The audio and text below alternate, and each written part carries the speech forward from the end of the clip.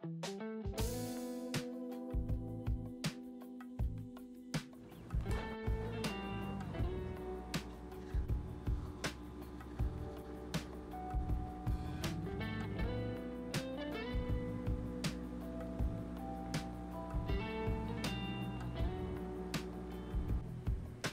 عليكم فيديو جديد. اليوم مع ترند أجهزة القهوة الاحترافية وتعددها في السوق. جو الإيطاليين وحطوا بصمتهم في هذه الفئة بجهاز أخذ شهادة تجربة المستخدم الممتاز. وبس كذا. إضافات كثيرة تعمدت ديرونجي تنزلها في هذا الجهاز حنستكشفها مع بعض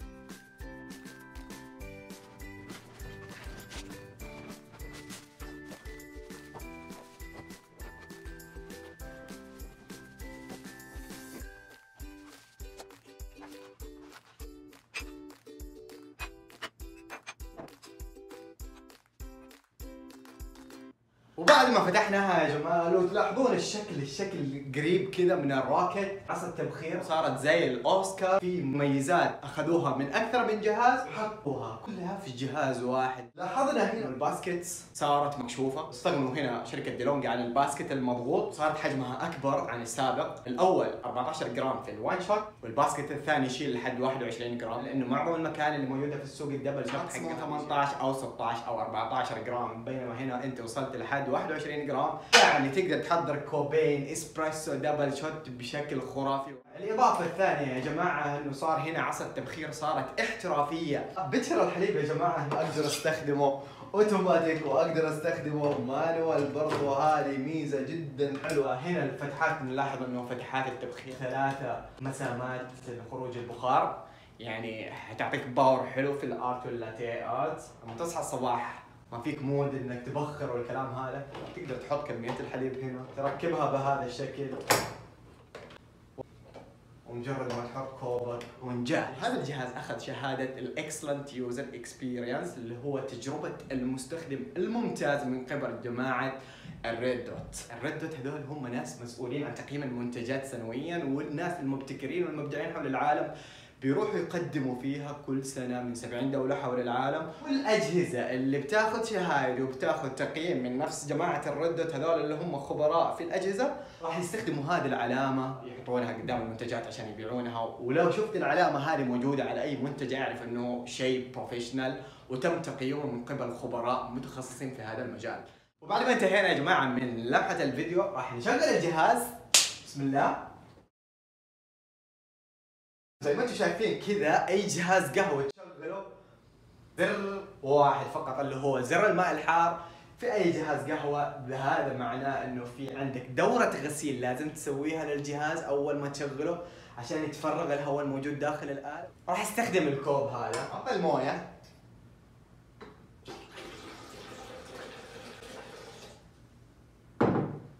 ونضغط الزر هذا. هذه العملية اللي يحتاج تسويها أول ما تشغل الجهاز واول ما تفتحه من الكرتون شايفين؟ الجهاز جاهز للاستخدام الآن. نلاحظ يا جماعة عندنا شاشتين الشاشة الأولى تقدر تتحكم فيها بعدد الثواني اللي تحتاجها عشان تطحن كمية القهوة اللي تعبي لك ال portafilter في ال single وال double shot. عندي كمان تحكم مباشر بدرجة الحرارة. مع كل كوب تقدر تختار درجة الحرارة وعندك خمسة مستويات. شاشة ثانية وتمت إضافة ثلاثة برامج فيها اللي هو برنامج الكابتشينو وبرنامج ال latte macchiato وال flat white لما تبغى تستخدمها استخدام أوتوماتيك. طيب إيش البرامج السابقة اللي كانت موجودة؟ طبعا نفس السبيشاليستا كان فيها ثلاثة برامج. وهذه الثلاثة البرامج اللي تمت إضافتها. عندنا هنا سخان الأكواب صار أكبر ويشيل مساحة أكبر. عندي هنا درجة الطحن صار فيها درجات أكثر، أول كانت ست درجات الآن ثمانية درجات. في برنامج تمت إضافته اللي هو برنامج ال descale بعد ما كان في المنطقة هذه في الإصدار السابق صار في له option لحاله. عندي هنا زر الموية الحار زي الإصدار القديم، خلاص ما راح نتكلم عنه. بكذا يا جماعة راح ننتقل ونشوف تجربة المطحنة وأدائها الآن عشان نختم الفيديو هذا وننتقل للجزء الثاني. طبعا بعد ما تحط كمية البن تبعك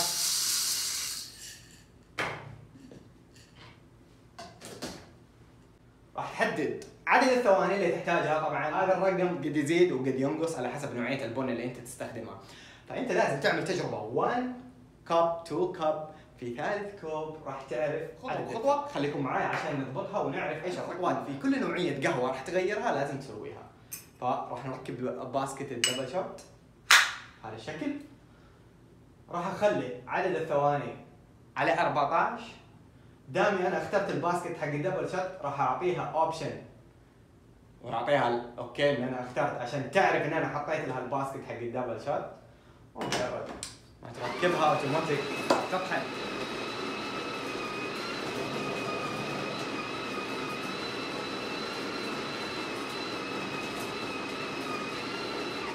بعد ما خلص طحن يا جماعة. كبسة واحدة من ال smart tamper الموجود في جهاز ديلونجي. كفاية. تبى تكبس كبستين؟ it's up to you بس كبسة واحدة إضافية. طبعا لو في زواج شايفين. هنا الحد كان أقل من الحرف فكمية القهوة أقل بشوية. راح أجرب التجربة الثانية وأحط عدد جرامات القهوة على 16 ثانية بحيث يديني المعيار المضبوط ويعبي لي ال basket بشكل مضبوط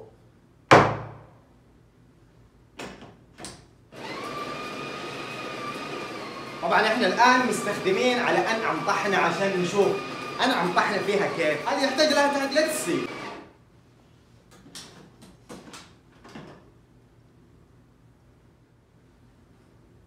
كذا هذه الكمية المناسبة اللي تحتاج إنك تعبي فيها ال portafilter.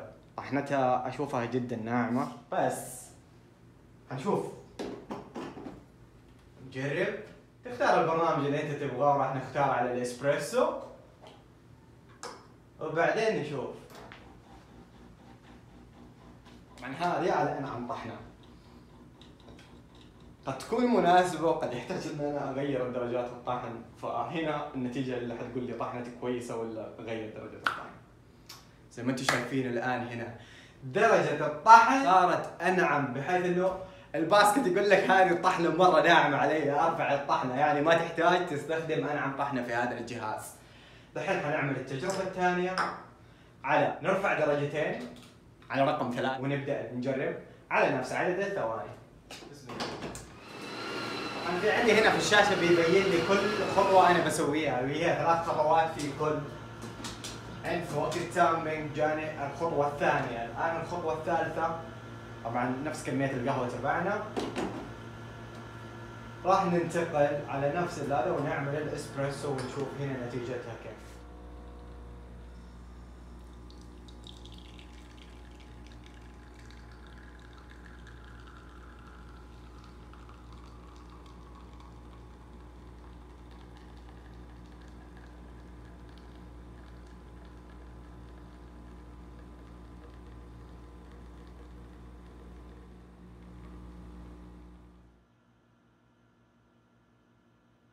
شايفين طبقة الكريمة فيها. جدا رائعة يا جماعة. واو. وهذه هي النتيجة يا جماعة. شوت اسبريسو with sour cream on the top. Something.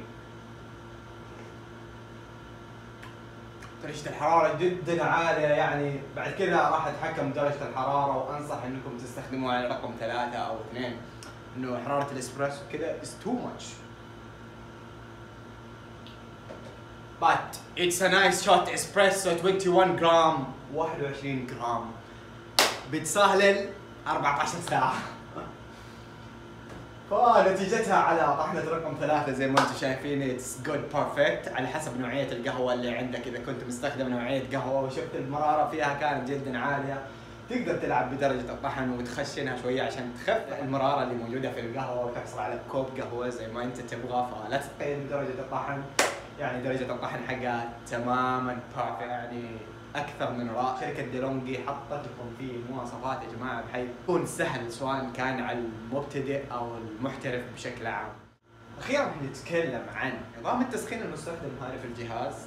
سخانين بحيث انه سخان القهوة منفصل عن التبخير. بعد آخر قطرة استخلاص تقدر تبخر الحليب.